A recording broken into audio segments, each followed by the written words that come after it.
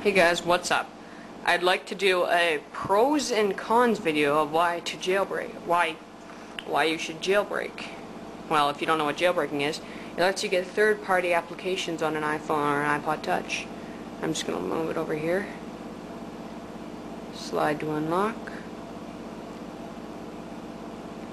And as you can see, I have a wallpaper behind my icons.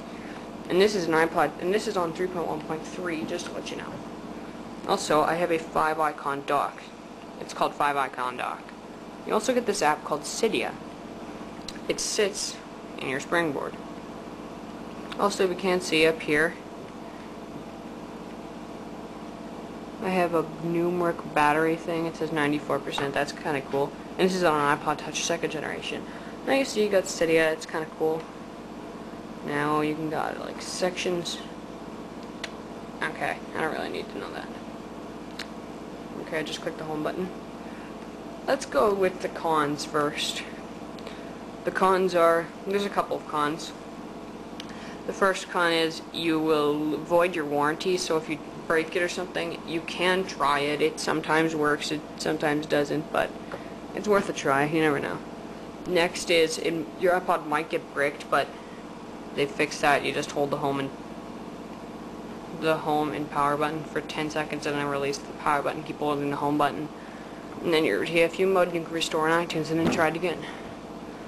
Also, you get, oh wait, yeah, this is on the cons. You can also, like, like the next con is some apps that do not work.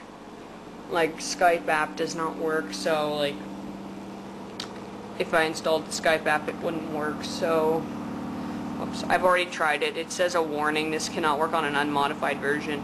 So if you hear something in the background, that's our washer and dryer. Or washer. If you hear that, it's my brother. My brother's clip.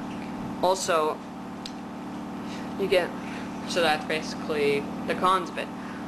Like, some apps will not work, like Skype, but if you're on an iPod Touch without those headphones, why the heck do you even need Skype? Next is the pros which is pretty normal. People always make pro videos but never con videos. So I might as well get to the pros. The pros are customization. The first one that most people do it for is customization, which you can see I have a wallpaper behind my icons, and then this transparent dock, because the dock ain't there anymore. Sorry if you're my brother. And then I'll show you kind of like customize. My brother's trying to get, tell me to go away.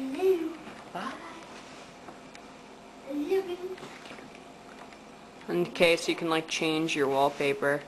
Let's change the wallpaper to the earth wallpaper. Everybody likes this one. And as you can see, the earth is behind my icons.